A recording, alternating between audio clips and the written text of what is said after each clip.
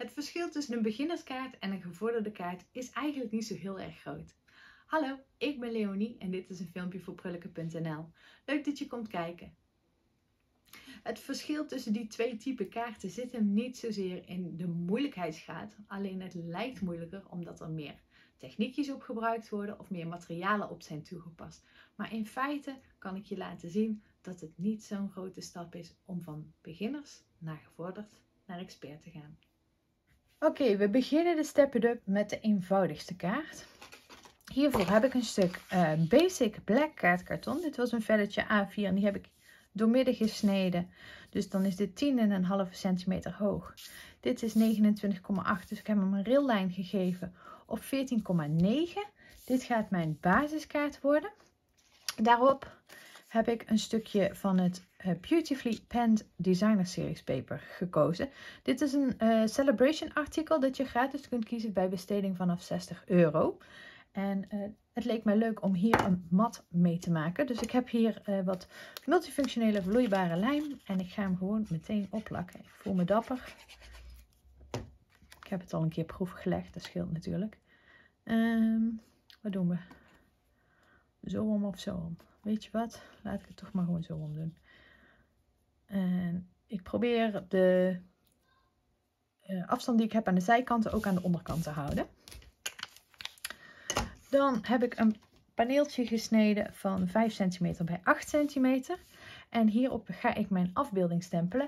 Die komt uit Pampered Pads. Dus een set die ik eigenlijk heel weinig gebruik. Dus ik vond dat, het, uh, dat ik hem weer een keertje goed uh, moest gaan gebruiken. Ik heb deze poes genomen. We hebben namelijk zelf een kat uh, genaamd Deb, vernoemd naar de acteur, Johnny, je weet wel. En um, die, is, die, die, naam had hij toen wij hem kregen, dus die naam hebben we ook gewoon gehouden. We hebben hem al sinds hij een kleine kitten is, hij is inmiddels al 13. En um, Deb doet het hartstikke goed bij ons. We zijn ook heel blij met hem. Het is een heel eigenwijs rood katertje. En um, maak eventjes tussentijds door mijn stempels schoon. Um, zoals je zag, ik heb hem dus gestempeld met Memento Tuxedo zwarte inkt. En ik maakte hem schoon aan mijn chamois. En uh, ik wil kijken of ik dit katje een beetje kan kleuren zoals onze dep eruit ziet. Dus ik heb uh, Pumpkin Pie Light gepakt. Ik heb uh, Dark Petal Pink. Ik heb Ivory gepakt. Om zijn streepjes te geven heb ik Dark Crumb Cake. En voor nog wat extra schaduwen heb ik uh, Smoky Slate Light. Uh, en ik ga gewoon um, rustig aan wat kleur opbouwen. En ik ga proberen om hem een beetje te kleuren zoals Deb. Dan hoef je natuurlijk niet per se een kat te hebben om een kattenstempel te kunnen kleuren. Maar als het me lukt, dan vind ik het wel leuk. Hij heeft witte pootjes. En een witte buik. Hij heeft heel veel wit. En verder is hij oranje, maar hij heeft ook heel veel wit.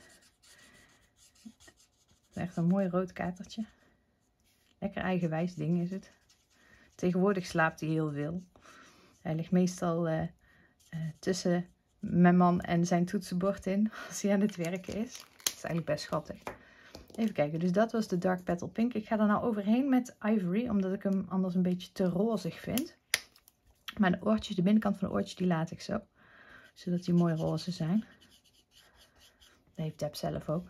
Wat rozigere oortjes. En een heel schattig roze neusje. Maar ja, die is hier al zwart. Dus daar kan ik niks meer aan veranderen. Die is zoals die is. En um, ja, dus meestal ligt Deb bij mijn man. En uh, s'nachts dan ligt hij aan onze voeteneind. Of uh, kruipt je wel ineens bovenop ons. Of dan wilde een keertje voeten aanvallen en zo. Ook niet meer zo vaak als vroeger.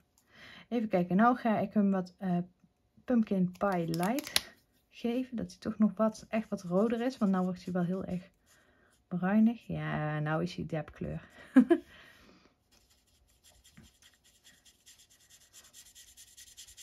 en de dep is verder nog in, in goede gezondheid. Hij was eerst echt flink te dik. Maar dat is... Uh, die is gewoon samen met zijn vrouwtje op, uh, op dieet gegaan. En wij zijn allebei uh, afgevallen. Hoewel jij hem er veel minder over hoorde zeuren dan dat ik dat doe. ik ga hem wat, uh, wat streepjes geven. Want Deb die heeft dan wat van die streepjes die naar met zijn ogen lopen. En hij heeft, ja, dit kan ik dan niet exact doen hoor. De exacte strepen van zijn rug, want hij heeft er een paar hele aparte patroontjes in. Dus. Maar het is wel echt een tijger. En heeft bij zijn staart heeft hij wat dikkere strepen. Nou, hij is een beetje meer gestreept dan onze dep is, maar het gaat om het idee. En dan ga ik nog een klein beetje schaduw geven om het wit wat witter te maken. Dus aan de onderkant en de plekjes waar je schaduw zou verwachten. Een klein beetje, beetje schaduw. Dus dat is onze dep voor vandaag.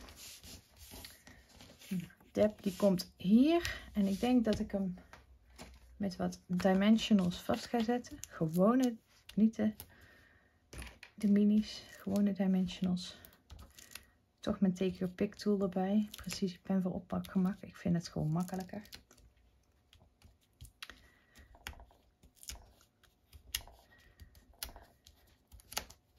Oh. Was hij er? Nee. Zo, nou wel. En dan ga ik hem hier plaatsen, zodat ik nog genoeg plaats heb voor een spreukje. Die ga ik stempelen op een strookje uh, peel papaya kaartkarton. Ik vind dat dat wel leuk kleurt bij Deb. En de spreuk die ik gekozen heb, die komt uit uh, Vrolijke Viooltjes. Zo, Vrolijke Viooltjes. Geluk zit in een klein kaartje. En die heb ik hier. En die ga ik ook weer stempelen met Memento Tuxedo. Oh. Ik ga hem nog één keertje neerleggen, want hij liet los. En ik wil zeker dat hij recht zit. En je hebt kans als je hem weer terugplakt, dat hij dan net scheef uitkomt. Dit past als het goed is perfect hierop. Dan hoef ik alleen maar de uiteinden een beetje weg te knippen.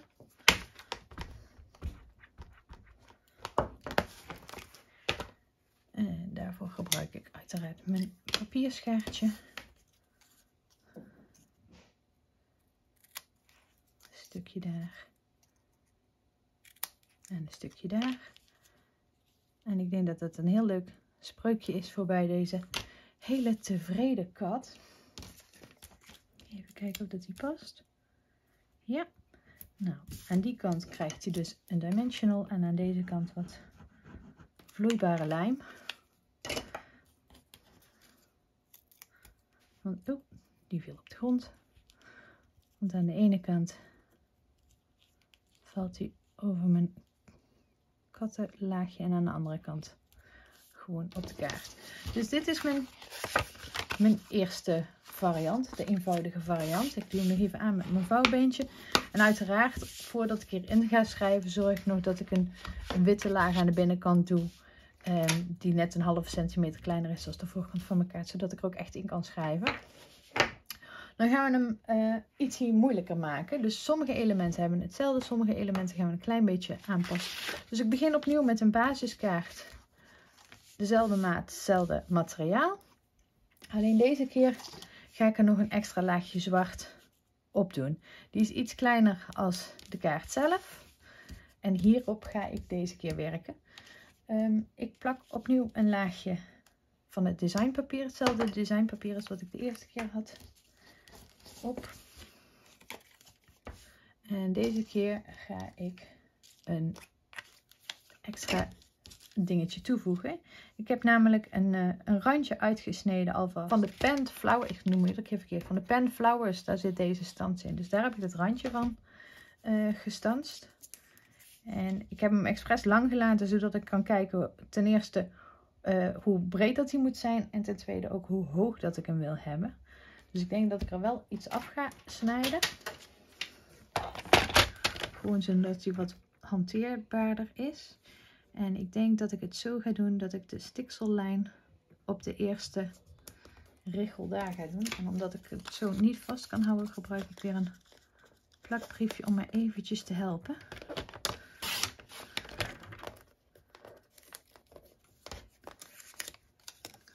Net wat makkelijker.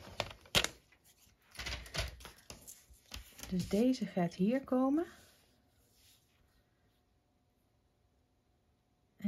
denk dat ik hem gewoon eerst op ga plakken en dan de zijkantjes eraf ga knippen. En dan ga ik er ook nog een lintje overheen zetten.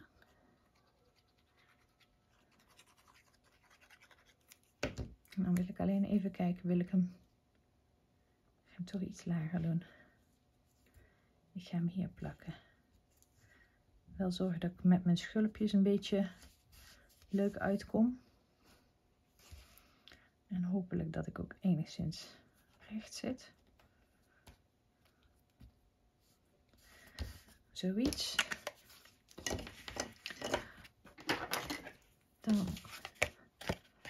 knip ik het te veel eraf.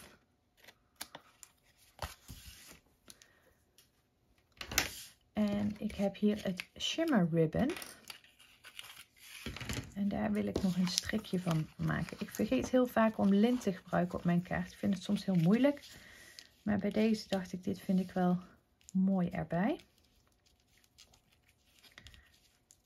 Links over rechts en onder. Schuiven we een beetje naar de rechterkant. Als je inmiddels denkt, hé, hey, dit komt me bekend voor, dan heb je gelijk. Ik ben mijn Step It Up namelijk aan het casen van de kaarten die in de jaarcatalogen staan. Van de Step It Up. Die ze gemaakt hebben met de Beautiful Moments stempelset. En die vind je op pagina 79. Dus als je denkt, huh? ik heb het idee dat ik dit eerder gezien heb. Dat klopt. Dat klopt helemaal.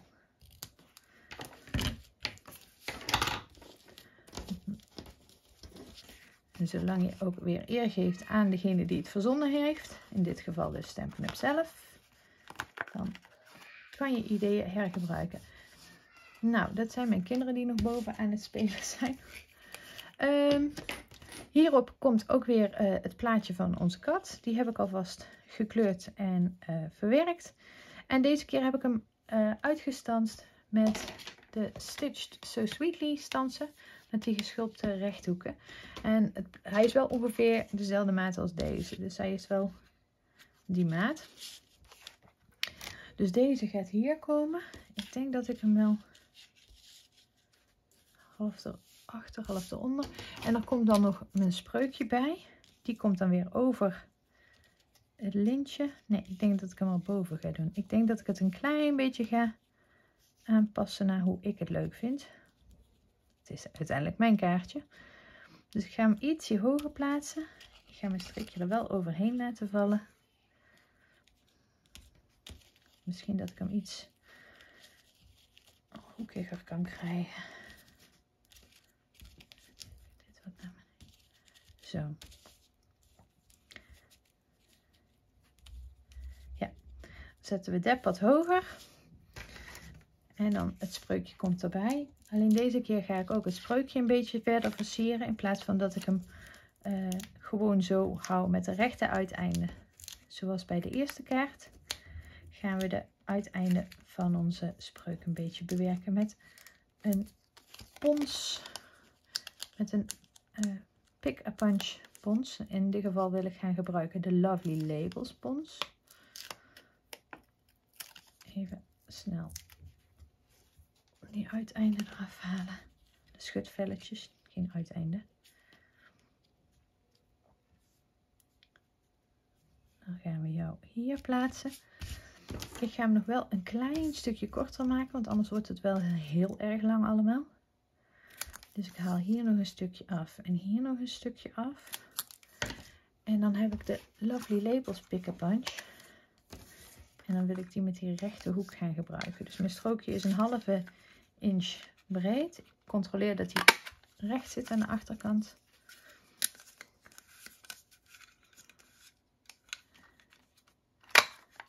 Zo.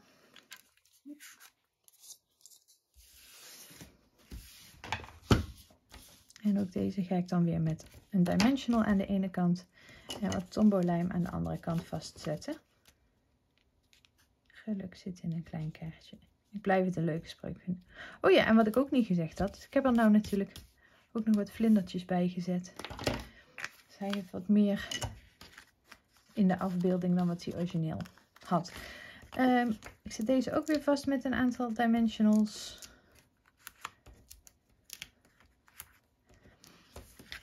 Nee, dit gaat toch sneller met mijn Take Your Pick tool. Oh. En dan zijn er twee tegelijk, dan gaat het wel heel snel. Zo. Twee.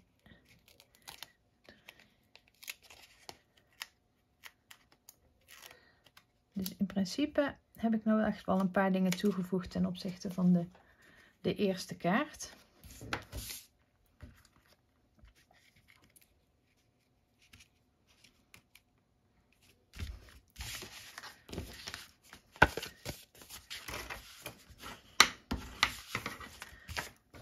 Hij heeft een laagje extra gekregen. Hij heeft wat vlindertjes erbij gekregen. Een lintje en een geschulpt randje. Maar verder is het nog redelijk hetzelfde, hetzelfde kaartje wat ik hier uh, gemaakt heb.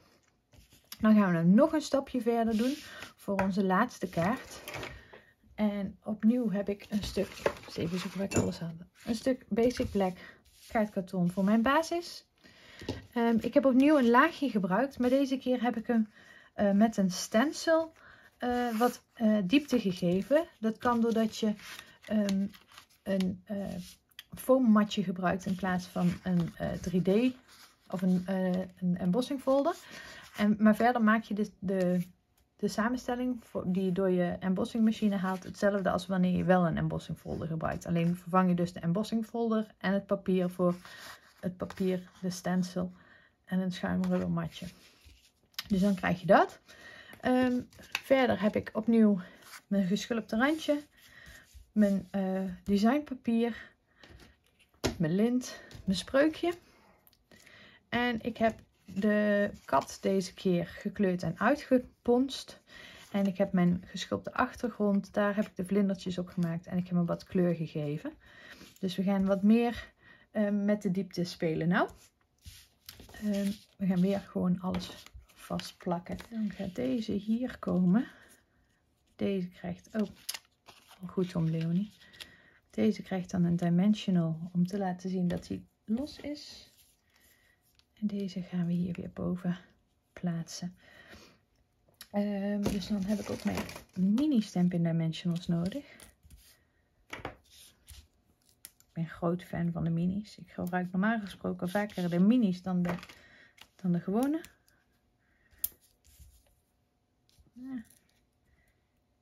Op zich kan ze allebei door elkaar gebruiken natuurlijk. Dan hebben we deze nog.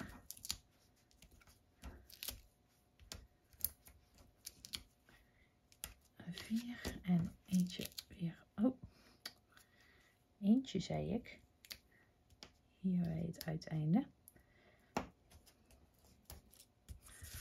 Eerst even deze.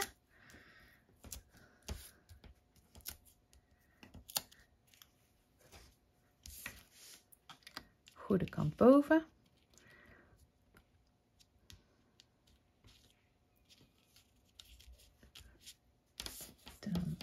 zullen we dep plaatsen.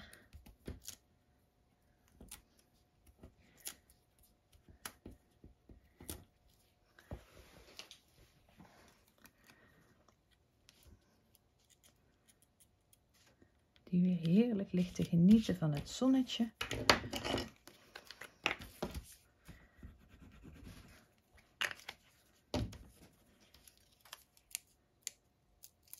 op deze manier. Deze komt hier erbij. En ik zal zorgen dat hij... Hij moet net iets ietsje hoger. Zo. En ook deze gaat weer opnieuw met dimensionals op de kaart. Dus dit is wel echt een kaart met flink diepte.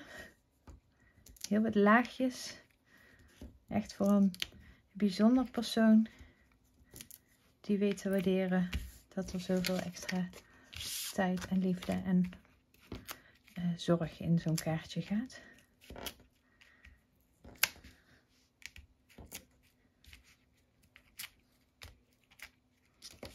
Kijk, heb ik ze allemaal? Ja, ik denk het wel. Dus als je nou nieuw bent in het stempelen en je denkt, oh, dat ziet er ingewikkeld uit. Dan weet je nou dat er maar een paar kleine stapjes zijn om van je basiskaart te gaan naar een kaart. Oh, we willen nog wel bling erop. Uh, die wat meer heeft. Momentje, bling nog even. Een beetje hier. Een beetje hier.